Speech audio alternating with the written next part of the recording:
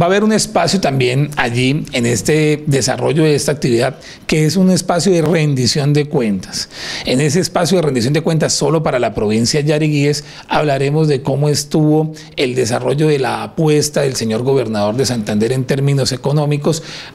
dirigidas hacia esta provincia de los municipios que ya hice referencia. Podríamos hablar también allí de vías secundarias, más de 163.200 millones de pesos se dispusieron para el pavimento y, la y el mejoramiento de vías secundarias por alrededor de 64 kilómetros en toda la provincia, pero también cómo se dispuso de un recurso especial por 17.011 millones de pesos para vías terciarias en más de 11 kilómetros de vías en la provincia de Yariguíes, que se hizo también en, términos de equipamiento, que se está desarrollando en términos de infraestructura educativa, de infraestructura de salud, cómo se está trabajando también los temas ambientales, la gobernanza del agua, los temas que tienen que ver con los procesos silvopastoriles, que tienen que ver con la reforestación, que tienen que ver con las microcuencas, cómo se está trabajando en saneamiento y agua potable, que se está llevando a cabo en toda la provincia de Yariguíes, sobre todo en el de una dinámica que busca el reconocimiento de derechos, porque el señor gobernador ha sido muy claro.